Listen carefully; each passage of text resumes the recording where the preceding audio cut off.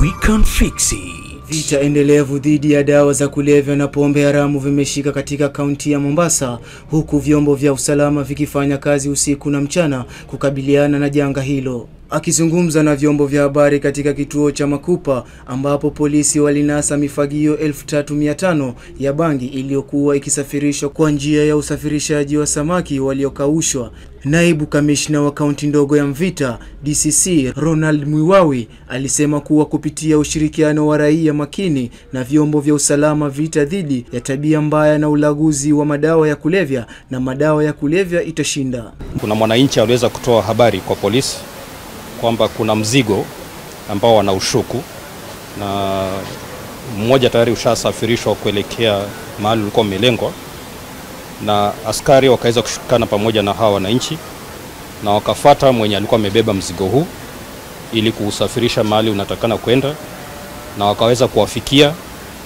na baada ya kuwafikia katika mahali walikuwa wameelekea, walipowakamata wale, ndo wakaweza kuwaelezea mahali mzigo ilikuwa imeshukishiwa.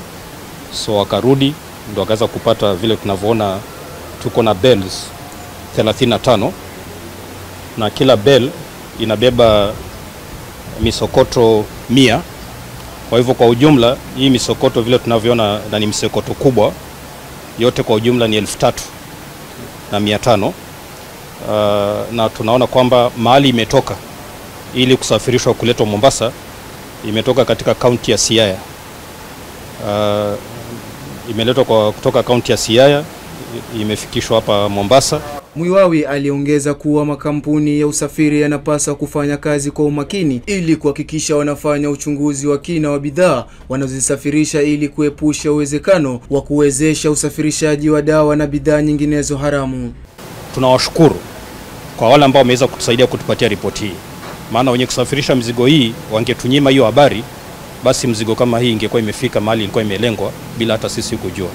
Kwa hivyo tunajaribu kujenga uhusiano mkubwa sana kati ya makampuni za mabasi, kampuni za kusafirisha mizigo na raia wema ili tuweze kutoa haya masuala ya miadarati katika Mombasa hii. DCC alibainisha kuwa shehena hiyo yenye thamani ya mtaani ya shilingi milioni moja nukta saba tano kama shehena nyingine zilitoka maeneo mbalimbali huku Mombasa ikiwa mahali pa mwisho. Alisema serikali itatekeleza hatua kali zitakazopunguza utiririshaji wa dawa na bidhaa haramu kutoka maeneo mengine kuingia katika jiji la bandari. Kwa upande wake, kamanda wa polisi kaunti ndogo ya Mvita Maxwell Agoro alisema kuwa mbinu za mashirika mbalimbali katika kukabiliana na tishio la dawa za kulevya zimesaidia pakubwa kukabiliana na tabia hiyo hasa katika kaunti ndogo ya Mvita.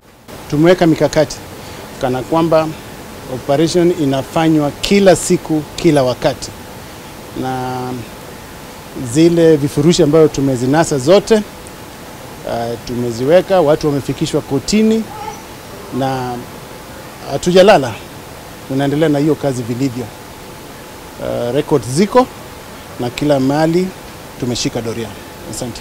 Nikiripotia runinga ya Fix kutoka kaunti ya Mombasa, jina langu ni Omar Matano.